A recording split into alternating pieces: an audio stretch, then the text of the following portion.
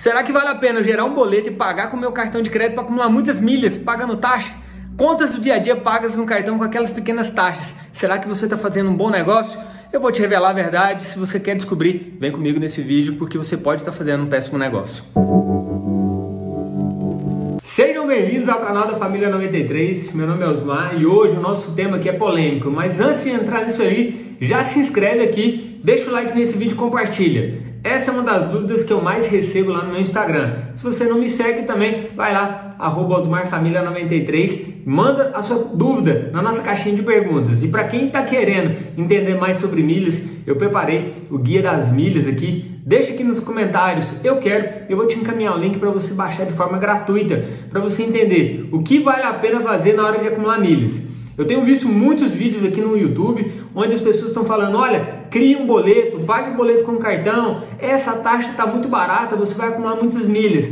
E a verdade tem que ser revelada. Vou te mostrar aqui até na nossa tela do computador a planilha com o percentual que você está pagando ou que você pode pagar e se vale a pena ou não, utilizando o melhor cartão para acumular milhas, que é o PDA. Também vou deixar o link dele aqui para você solicitar esse cartão, o cartão que mais acumula pontos e milhas. A cada um real gasto você gera um ponto que pode se tornar até duas milhas numa companhia aérea. Então, baseado no uso desse cartão, eu vou revelar aqui se vale a pena ou não. Mas antes de falar se vale a pena ou não, alguns aplicativos você ainda consegue utilizar para pagar algumas contas sem tirar dinheiro do bolso através dessas taxas embutidas. O aplicativo 99 Pay você consegue pagar em torno de 100 reais por mês em boletos. Então, para mim não faz o menor sentido utilizar o meu cartão que eu poderia acumular pontos de outra forma em aplicativos tentando pagar alguma conta para poder economizar ou então gerar uma milha num gasto tão pequeno como 100 reais por mês não vai te gerar milha suficiente nem para poder fazer uma viagem, nem para trocar por algum produto que você queira. Então, para mim não faz muito sentido utilizar um aplicativo para poder pagar 100 reais em contas. Mas, se você quiser utilizar, esse é o aplicativo 99Pay.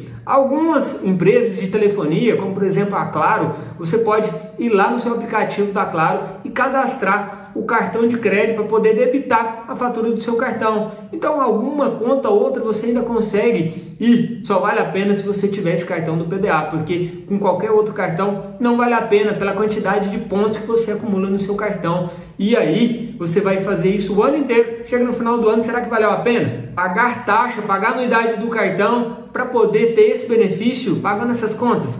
É muito provável que não. Então eu prefiro utilizar estratégias onde eu consiga acumular de verdade utilizando esse cartão. E isso eu compartilho com os meus alunos dentro da nossa comunidade 3K em 30, pessoas que estão ali em busca de realmente fazer a renda extra com milhas ou viajar de graça utilizando o poder das milhas aéreas.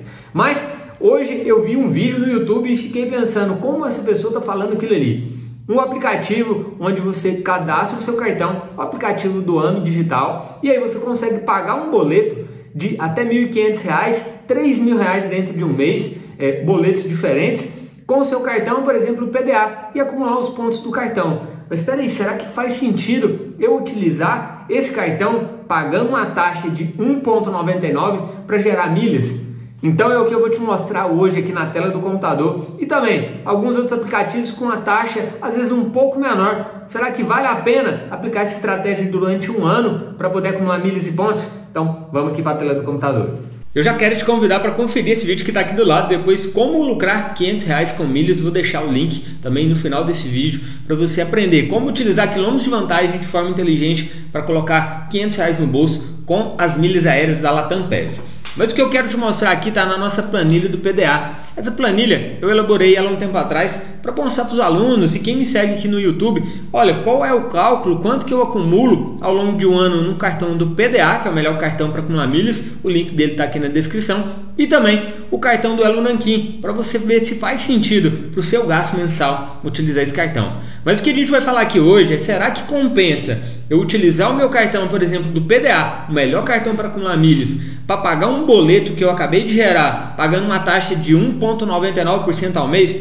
Então, olha aqui, o valor que você consegue pagar em um mês utilizando esse aplicativo do AME é 3 mil reais.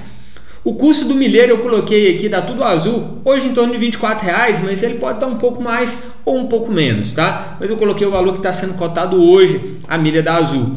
E aí eu simulei aqui, olha, você vai pagar 3 mil reais em conta a uma taxa de 1,99%. Você vai pagar então ao mês R$ 59,70 em taxa. Mas esse cartão do PDA Platinum ele tem uma anuidade. A anuidade é de 650 reais, dividido em 12 parcelas de R$ 54,17. Já coloquei aqui o custo mensal então para poder pagar 3 mil reais em boletos e ele é de R$ 113,87 que está aqui a soma desses dois campos. Se ficar alguma dúvida, depois deixa aí nos comentários, tá ok? Olha só, eu utilizando esse cartão, eu vou ter um acúmulo de pontos mensal de 3 mil reais, porque eu utilizei um aplicativo que eu gerei o boleto e outro que eu fiz o pagamento utilizando o meu cartão do PDA. Se eu encontrar uma promoção com 100% de bônus, que seria excelente, não é o que nós temos visto, a maioria das promoções hoje estão em torno de 80%, eu teria um acúmulo de 6 mil milhas por mês, tá? utilizando essa estratégia. Se eu vender essas milhas hoje, eu teria um retorno de 144 reais ao milheiro aqui de 24 reais lá na Tudo Azul, tá ok? Pera aí, Osmar, então no final das contas como é que ficou isso? Eu fiz aqui o retorno mensal e o retorno anual com as milhas. Ao longo de um ano, você acumula com essa estratégia de pagar o boleto no PDA R$ 1.728 com a venda das milhas. Mas eu tive um custo anual de R$ 1.366 com as duas taxas, a anuidade do PDA e a taxa de 1,99% ao mês. Então, ao final de um ano, você colocou no bolso 361 reais.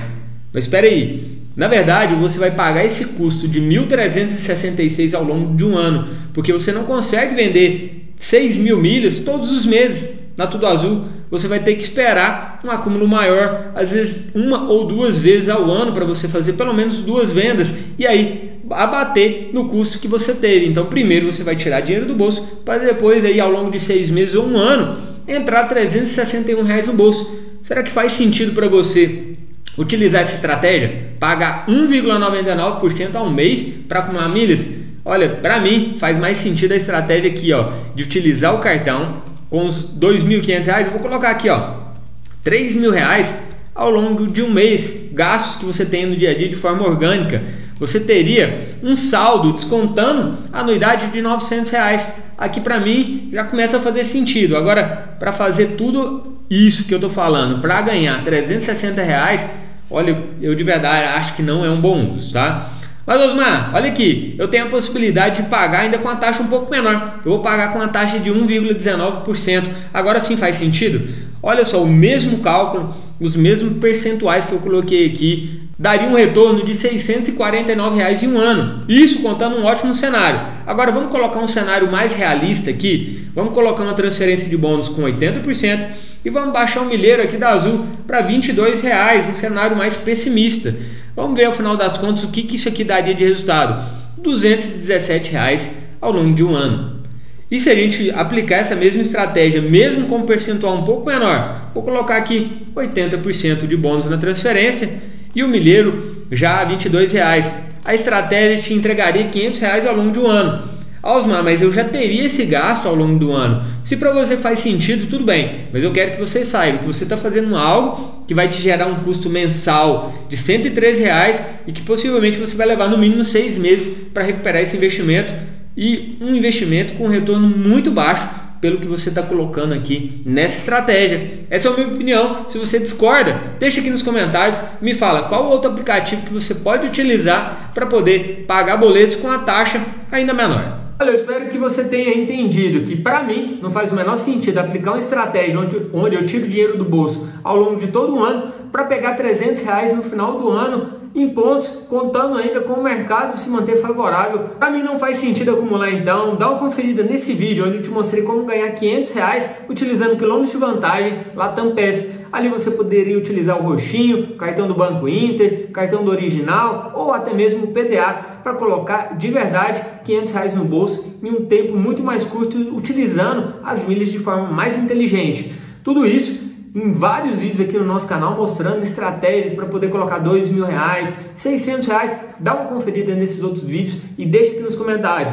Para você, faz sentido pagar as contas no cartão para ter esse acúmulo ao final de um ano? Ou será que é perda de tempo? É melhor utilizar esse cartão de forma mais inteligente e a um custo reduzido para acumular as milhas de verdade. Se você gostou disso aqui, já se inscreve aqui no canal da Família 93, deixa o like nesse vídeo e compartilha, porque tem muitas pessoas perdendo tempo fazendo isso aqui que está sendo ensinado aqui em outros canais no YouTube. Se você gostou desse vídeo quer curtir as milhas adoidado, vai lá no meu Instagram, osmarfamilia93 e me manda uma mensagem. Fala assim, olha, eu vim pelo vídeo revelando o segredo de pagar a conta no cartão de crédito. É só o começo, tamo junto e até o próximo vídeo. Valeu!